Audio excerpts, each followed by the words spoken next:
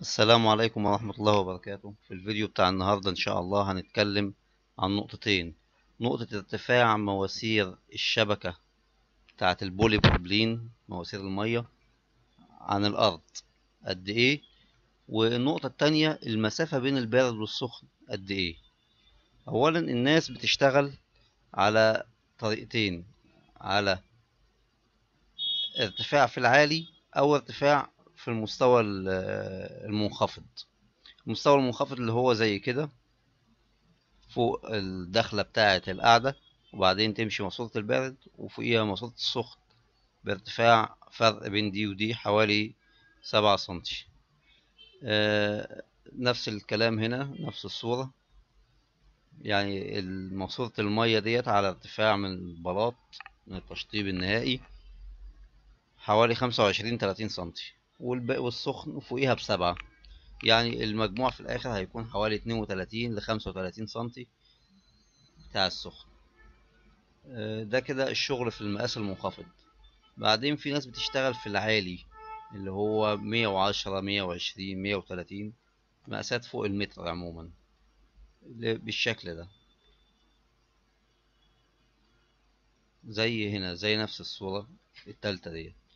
يجي بعد كده في ناس بتشتغل بقى الوسط اللي هو ارتفاع خمسين وستين سنتي. آه كل حاجة من المواضيع ديت في ملاحظات عليها من حيث إن إنها تديلك في النهاية إيه أحسن ارتفاع تشتغل عليه. نرجع للصورة الأولانية المرسومة.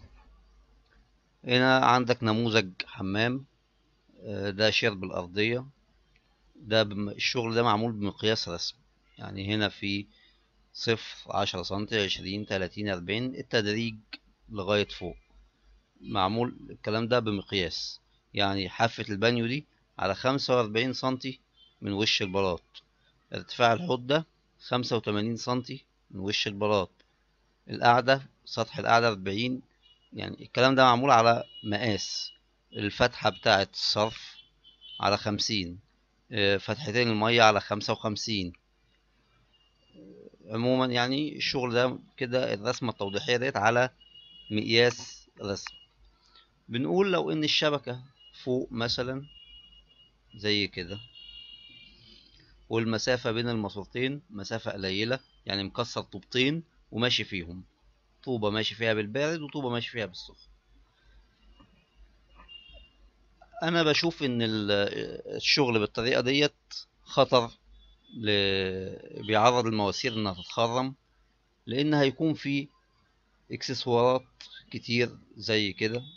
في مسامير الحوض مسامير الركبة آه وراقة آه كوباية آه فرش أسنان رف مراية صبانة آه فواطة وراقة العلاقة التحتانية بتاعت سماعة الدش ولو هنا في كابينة بتاع الدش هيكون هنا في قايم متخرم له بمسامير في السيراميك.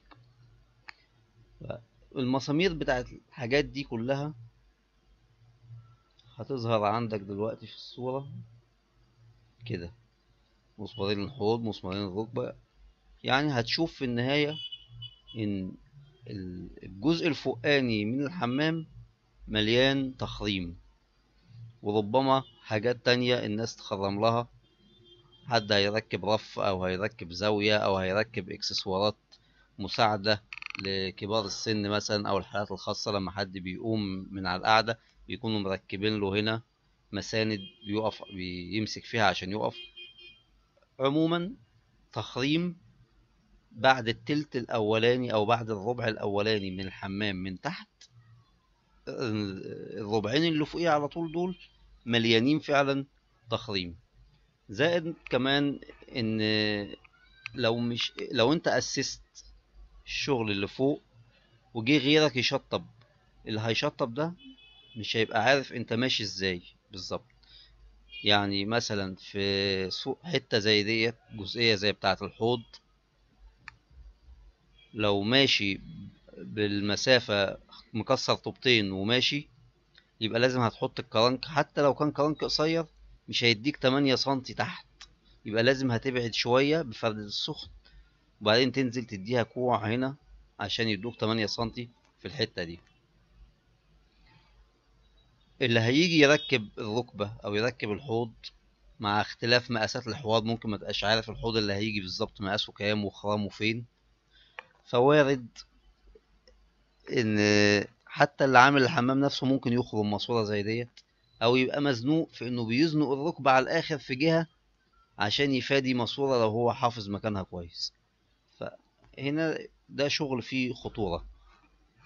كمان لو آه، في محبسين دفن محبس للبارد ومحبس جاي من الغلاية للسخن لو إنك عايز تحط المحبسين دول في ما في حتة م- بارتفاع منخفض عشان يكون شكلهم متداري شكلهم كويس أحسن ما يبقوا في الحمام في ارتفاع عالي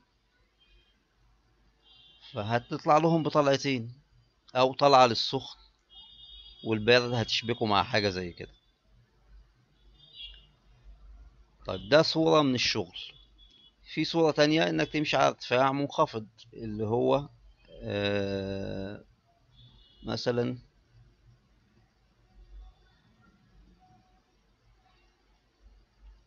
كده. هنخفي الاكسسوار أو هنسيبه شوية وبعدين نخفيه هنا جميع الاكسسوار والمسامير بتاعته الموضحة بالنقط الحمراء دي بعيدة عن الشغل اللي إحنا شغالينه. وهتلاقي المواسير كمية المواسير أقل. يعني انت كده هنا أوفر في الشغل والخامات وأأمن وانت شغال في المسافة المنخفضة. هنخفي بعد كده دلوقتي الاكسسوار عشان يروق المنظر شوية هو والمسامير ديت مسامير وادي الاكسسوار. يفضل عندنا هنا آه، الشغل. هنتكلم بقى على حاجة المسافة بين البارد والسخن. دي الطريقة اللي أنا بفضلها عموما في الشغل. المسافة بين البارد والسخن وارتفاع البارد عن الأرض قد إيه؟ يعني لاحظ حضرتك هنا أنا عامل ارتفاع البارد ده على خمسة وعشرين سنتي. خمسة وعشرين سنتي دي بيكون مفادي ال- الأكرة الجانبية بتاعة القعدة بيكون أوطى منها. وبيكون في فرصة إنك تخليهم ملمومين شوية جنب القعدة لأن أنا أحيانا بشوف ناس عاملة مخرجين ال- القعدة التيهين بسن دول في الارتفاع العالي فوق الأربعين سنتي كده وتلاقي الوصلة نازلة من العالي للواطي بيبقى شكلها مش جميل. وبعدين أحيانا في ناس بتعمل المحابس دي تبعدها تخليها بعيدة عن القعدة ويبقى شكل الوصلة برضه مش جميل عشان بيحاول يهرب من دي أو يعليها. فهي الشكل الأظرف إنها تكون في الارتفاع ده ودي هتكون مفيش مشاكل بالنسبة لها. هيديك مسافة إنك تحط كرنك مستريح عشان تعمل المخرجين بتوع خلاط الشطافة بتاعت القعدة. كمان هنا هتركب البارد هتركب الكرنكات في البارد. في ناس كانت بتعترض على الكرنكات في السخن هنا الكرنك في البارد. غيره غير الكرنك في البارد عشان المية السخنة أو الباردة ال- الجدل اللي الناس بتتكلم فيه في الموضوع دوت هنا الكرنك وهو في البارد هيريحك في الشغل لأنك هتعمل الخط البارد والكرنكات معمولة فيه وبعدين تيجي تركب السخن بعد كده من غير كرنكات هيكون أسهل من إنك تركب البارد عدل وتيجي تعمل في السخن كرنكات.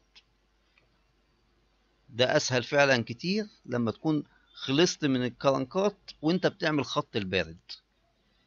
الكرنك في البارد وانت كده هتاخد الكرنك في القايم عشان انت عامل مسافة 15 سنتي بين البارد والسخن. يعني إحنا هنا البارد على خمسة وعشرين والسخن على 40 سنتي. ال- الكرنك اللي في القايم دوت بيخليك تعمل مسافة لو عايز قربت تلزق الكوعين في بعض بسن يعني انت مش محكوم بحاجة مفيش حاجة هتحكمك.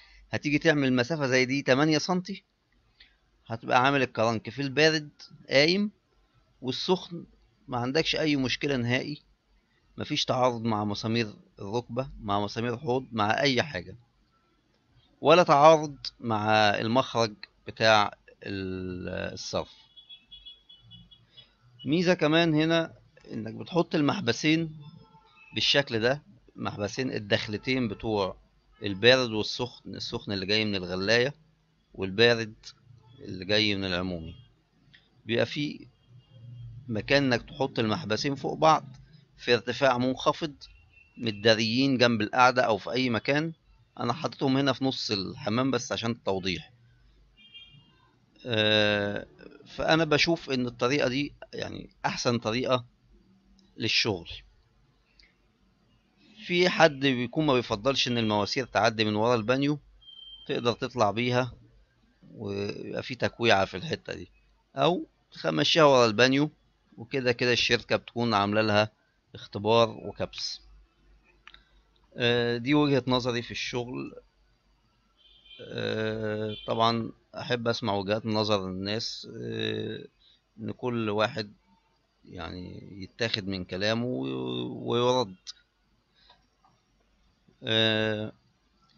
يعني هي وجهات نظر. وكلنا بنستفيد من بعض. فاللي عنده ملاحظات يا ريت يدونها ونتناقش فيها إن شاء الله عشان نوصل في النهاية لأحسن طريقة للشغل. وكل عام وحضراتكم طيبين. أخوكم أحمد عبد الغني.